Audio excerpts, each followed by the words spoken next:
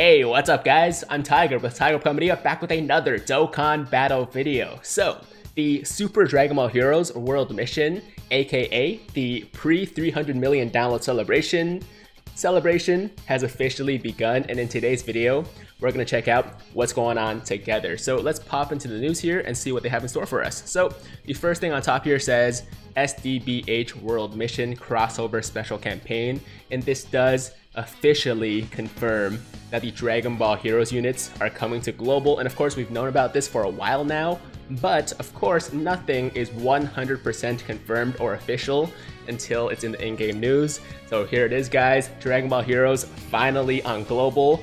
Didn't think I would actually see this day up until we got that tweet from Dokener, but it's here guys. So uh, let's check out what's going on. So it says Super Dragon Ball Heroes World Mission allows you to enjoy the popular arcade game Super Dragon Ball Heroes at any time and place on your console. So a little bit of promo for their Switch game, I guess. And uh, in the story, the protagonist Beat will become one of the Dragon Ball heroes and stand against the anomalies that appeared out of nowhere. Um, Super Dragon Ball Heroes World Mission includes the content of all 10 games from the Super Dragon Ball Heroes uh, series. That's the largest content. That's the largest content in the history of Dragon Ball games. Um, there seems to be something a little bit lost in translation there, but that's okay, I get it. Uh, special events and crossover special missions related to Super Dragon Ball Heroes World Mission are available during this campaign. Collaboration characters will also be available in the SDBH crossover summon. So uh, it seems like it's only going to be one banner. I wasn't really sure before this if all the units were going to be on one banner or are they going to be in separate banners, but looks like it's going to be one, which is pretty crazy. Uh, don't miss out on the chance to Dokkan Awaken the collaboration, collaboration characters. Come enjoy the events from the SBH World Mission Crossover Special Campaign. Okay, dope. Awesome. By the way, um, just in the interest of being honest, uh, I do, I have played at least uh, Super Dragon Ball Heroes World Mission on the Switch. It's actually a really good game, so um, if you guys are interested in a different kind of Dragon Ball game, kind of like a card, well, not really quite card battle style, but you do collect cards, which are characters you can use. Um, it's actually a lot of fun, so go check it out. Not sponsored by Bandai, uh, just want to be honest in case anyone's curious. It is a good game, all right? Uh, so the first thing on top here, we have the SDBH World Mission Crossover Special Missions, pretty standard right there, and also a 1500 day ce uh, celebration login bonus. So um, I wasn't aware actually that we had hit 1500 days. That's pretty awesome. And uh, I believe it's it's basically just a login bonus for this celebration. It's not like a separate one, but I guess they decided to give it a different spin. That's all right. Uh, number three is actually pretty exciting. So this is the Hercules Heart Pounding Gifts. This is something that JP has had at least a couple times now, like at least two times. I don't remember if they've had more, but uh, basically the way it works is that every day when you log in between the 12th and the 18th, so for one week basically, um, Hercule will pop up and he'll give you a gift.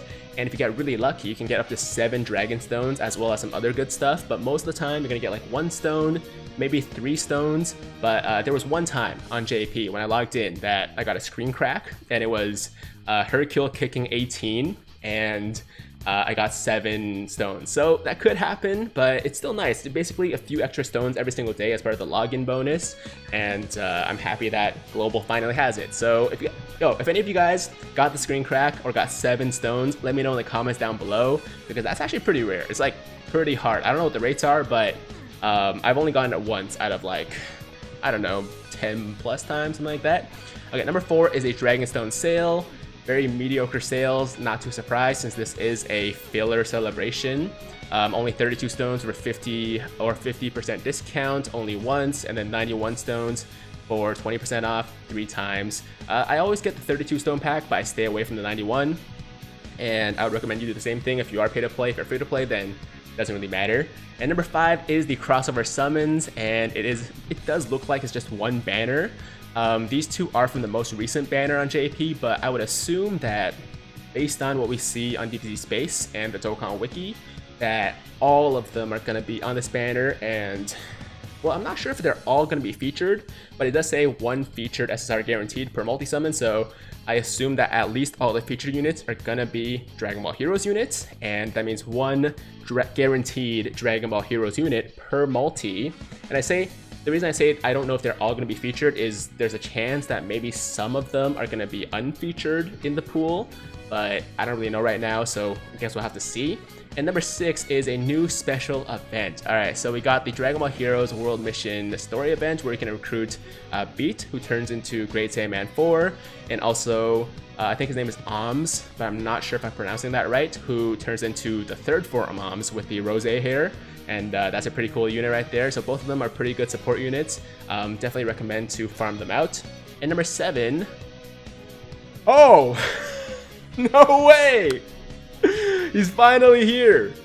He's finally here, guys. Okay, I literally went into this blind, right? The clock hit 8 o'clock. I I hit the news button, and we, we were, like, or I hit the record button, and we were on our way, right? I didn't even check what was going on. Janemba, dude. Yo, okay, in Janemba, finally, finally, on Global, guys. Yo, dude. That's a nice surprise right there, man. That's a nice surprise. You know, I was glad I didn't check the news then, since you got that genuine reaction out of me. Dude, that's awesome. That's awesome. Okay, we're getting into Nemba's EZA. Um, oh my god. Uh, so it starts on the 18th. We got the Dokkan Festival, basically just a banner with uh, Super Saiyan 3 Gotenks featured, and I forgot who the other other guy is, but it doesn't matter. Um, we got the tickets. If you guys want to buy those, they're, I mean, it's an option. I don't really do it.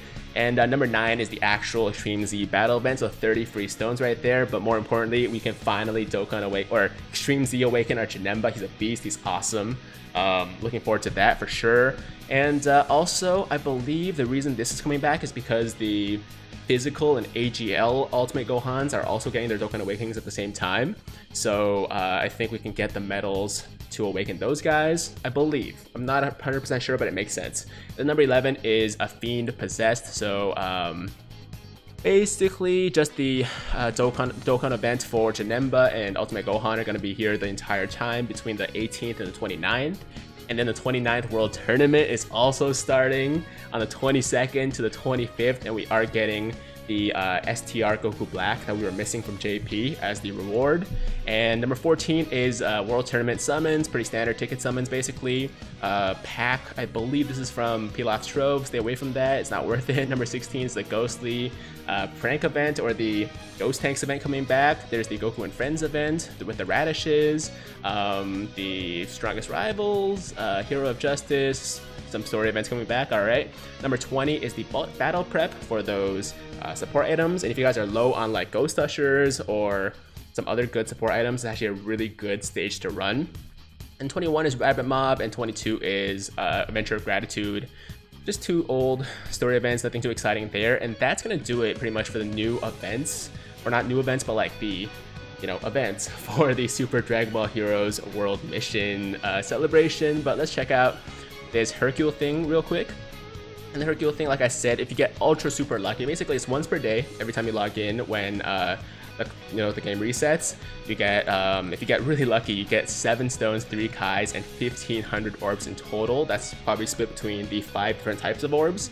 But uh, if you get super lucky, so this is ultra super lucky. If you get super lucky, you can get uh, three stones as well as uh, one kai of a random type and some other good stuff. Um, and then if you get, you know, regular lucky, you got one stone, and uh, that's pretty much what we're going to see the most of the time. But like I said, if you guys got seven stones, let me know in the comments, and uh, I would be happy to congratulate you because like I said, I think that's pretty, pretty rare.